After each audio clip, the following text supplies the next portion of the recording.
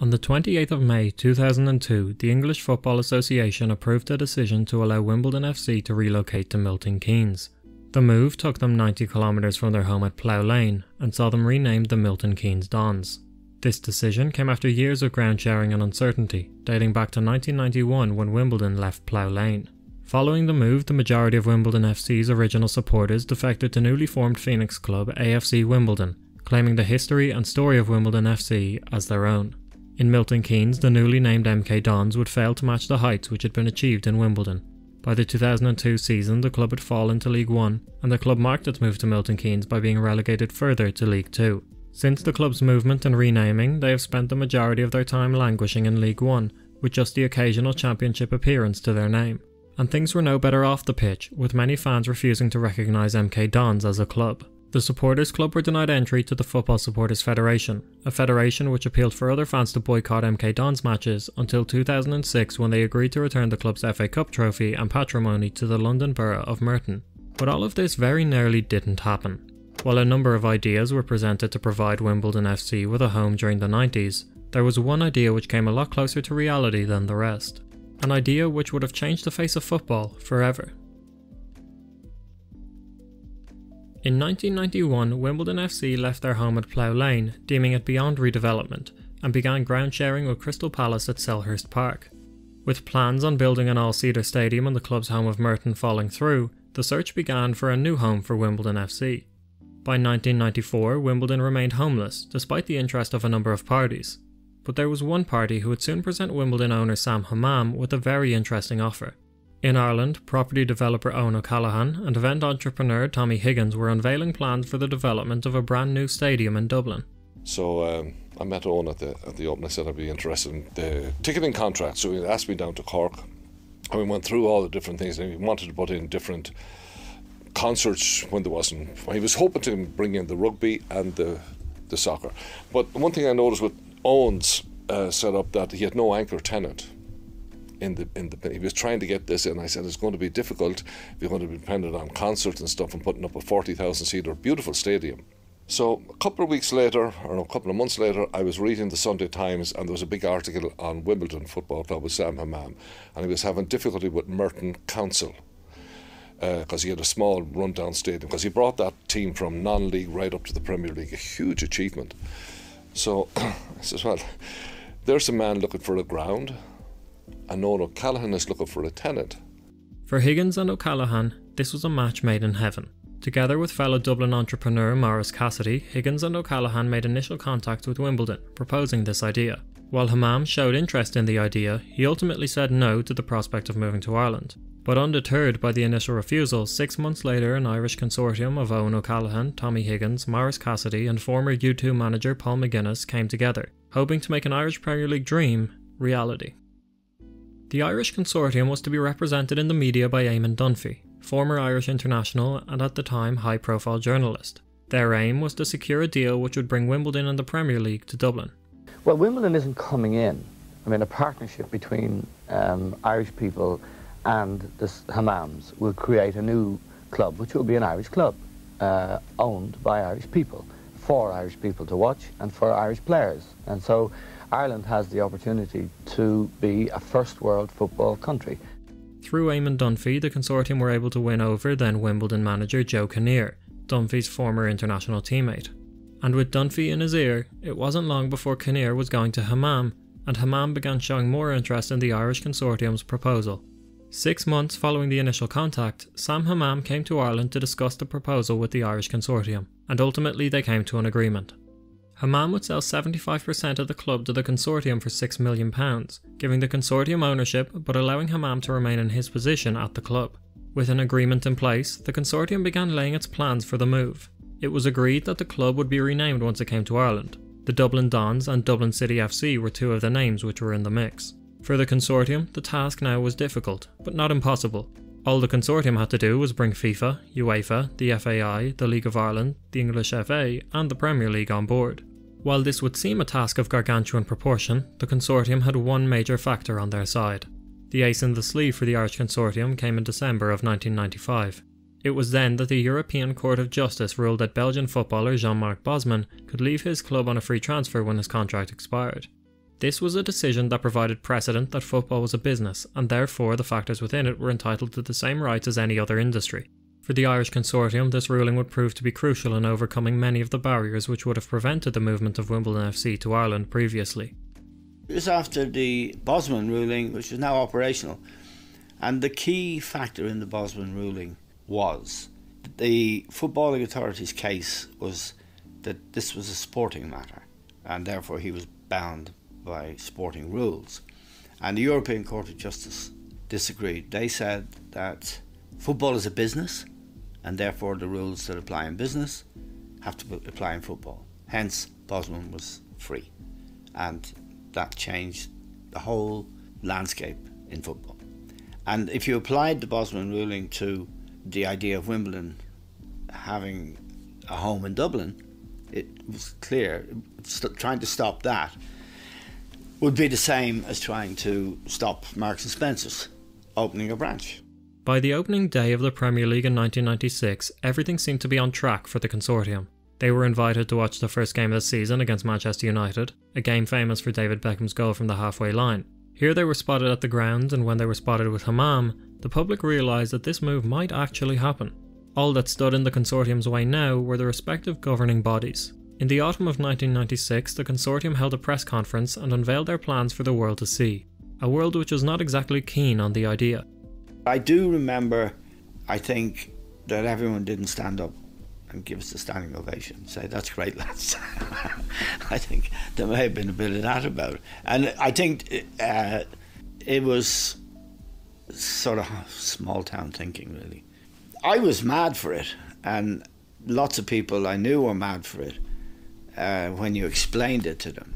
But I suppose people come up with gimmicks all the time or pull rabbits out of hats that turn out to be not rabbits. But we'd spent a long time, and I'd spent a very long time, making sure that in detail we had everything with all the sort of ducks in a row, with the exception of an FAI sanction go for it the Premier League had committed, uh, provided everyone else was on side. Yeah, I mean, it was. I, there's no point in denying it. I mean, the, the hostility towards it was depressing. Knowing that they needed the agreement of the FAI and the League of Ireland, the consortium put together a support package for the league in an attempt to entice the League of Ireland clubs.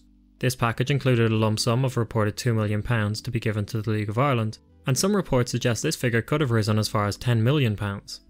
Despite this package, both League of Ireland clubs and their fans were not happy, leading to the creation of the National League United by disgruntled League of Ireland fans. The National League United felt that the introduction of an English club to Ireland would completely destroy the Irish domestic league. And the concern of these fans was clear with hundreds meeting to band together against the consortium and make their feelings clear to the world. It quickly became clear that the consortium had not considered the League of Ireland fans to be an obstacle to their plans, Yet the belief of the Irish Consortium remained that this would only be a positive move for Irish football. I could see on a certain level how they'd feel threatened. Who's going to come to our, our matches if there's a big Dublin Dons match every two weeks? But that's it's it's natural, but it, it's not really. You know, if you look at the evidence of a big player coming into any retail thing, and that's what you're doing with football, you're selling a product it's a rising tide, all boats rise. For the League of Ireland fans, the fact that it was Eamon Dunphy bringing the proposal did not help. Dunphy had made his disdain for the Irish domestic league very clear in the past and was not well liked amongst the League of Ireland faithful for his derisory remarks regarding the state of Irish football. Another thing that kind of roiled supporters of football, Irish football, was the fact that Eamon was involved in it because he hated the League of Ireland. He'd, he'd no time for the League of Ireland uh, and he'd make that quite clear. For the newly appointed CEO of the FAI, Bernard O'Byrne, the move of Wimbledon to Ireland was immediately top priority and would remain so for the next 18 months. From the start, O'Byrne was not pleased with how the consortium attempted to implement their plans. It was his opinion that their backdoor approach created immediate enemies and actually turned potential supporters of the move against it. While things were heating up in Ireland, it was no different in London, as Wimbledon supporters began fighting to prevent the move from happening. The most notable of these protests came following a Premier League match against Manchester United in 1997, which saw supporters demonstrate for two hours following the final whistle. The sequel was a demonstration by close on a thousand Wimbledon supporters, upset not by defeat, but at the reappearance of suggestions that the club might relocate to Ireland. Wimbledon owner Sam Hammam went into the crowd to make his point, but it took over an hour to clear the crowd.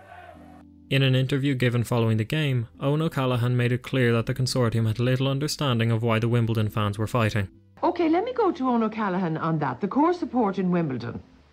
What about them? Yes, well, I don't agree that the core support is 15,000. I think it's closer to 6 or 7,000. Are you wrong, uh, but anyway, what about them? I mean, presumably they're not going to be overly pleased by this. Well, you you two two situations there. First of all, um, Wimbledon do not have their own stadium or their own pitch in, in London. Mm-hmm. They they rent a pitch, as you know, in Selhurst Park, Cormac. Um, yeah.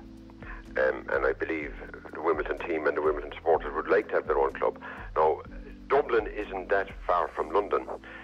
Newcastle, I believe, is every bit as far, if not further away. So the, the distance in this modern day is not a problem. And if, if Wimbledon's home supporters are prepared to,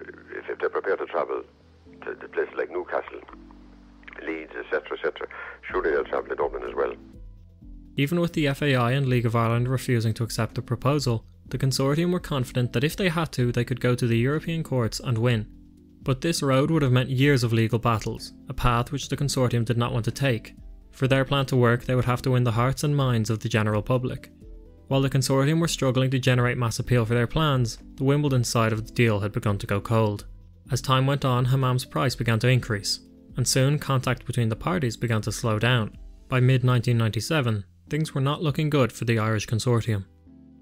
Well, the fact that I, I had figured out that it had, it had gone to ground, you know, and I've been involved in deeds before where things just run into the sand and it doesn't happen. And the fact that they weren't engaged, we were suspicious. We were suspicious at the time, and uh, they were stopped. They weren't uh, answering phone calls or any stuff the solicitor would send over. Uh, they would not. Uh, they would not reply to it. Something was up at the time. We tried contact, they never came back to us. So it just went dead at that stage. About six months following the slowdown of contact, the unthinkable happened.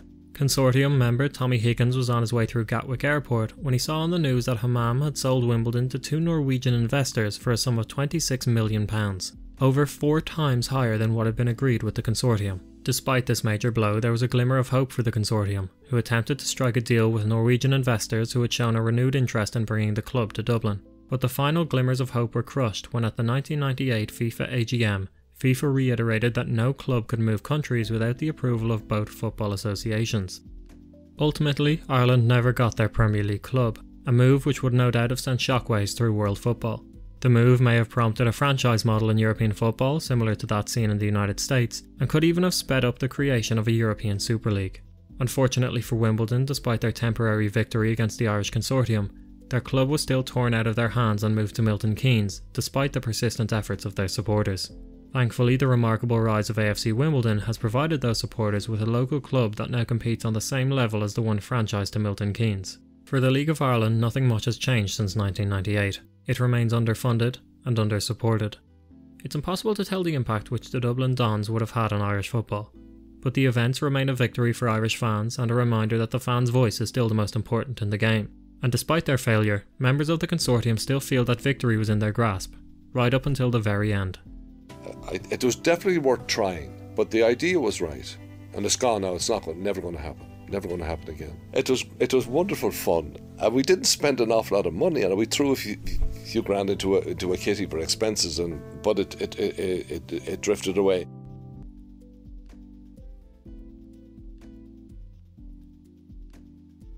In a nutshell, you're for it. You want it to happen. Yes. Yes, it will happen. There's a, an excellent chance now that it will happen and that uh, it will happen quite soon.